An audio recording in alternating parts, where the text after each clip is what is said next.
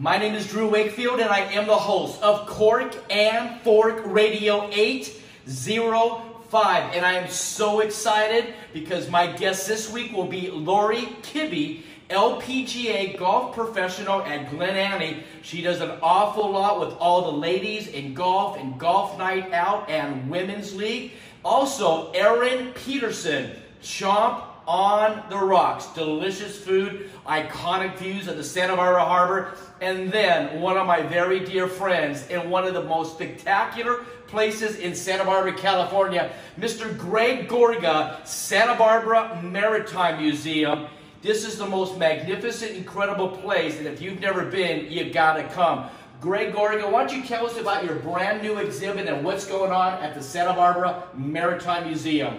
Thank you, Drew. So this is called uh, Arthur Beaumont, Art of the Sea. He was the most prolific artist for the U.S. Navy in the history of the Navy, painted over a thousand paintings of U.S. Navy ships. It's on view here through May. It's a traveling exhibit. We're one of only 10 museums to get it. He was the first artist to paint a mushroom cloud in the atomic bomb test, first artist to paint from the North and South Pole. He painted the Queen Mary, uh, the San Diego uh, portraits. It's just, we have over 53 of his paintings that are either from the Irvine Museum or on loan to us from private collections and other museums. And I've just been so fortunate to see so many of these paintings. I'm telling you, you've got to come. This is a must. Put it on the checklist, not the bucket list, the checklist to do this week as quickly as possible. Santa Barbara Maritime Museum, this exhibit is incredible. Let's go down and take a shot of the lighthouse, my friend. So this was from Point Conception. I believe it is the most important maritime artifact on the Santa Barbara Channel,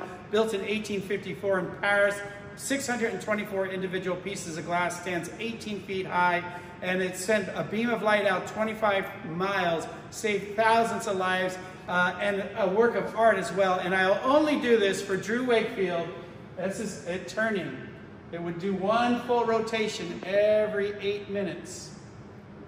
1854, ladies and gentlemen, and Greg Gorga, Santa Barbara Maritime Museum.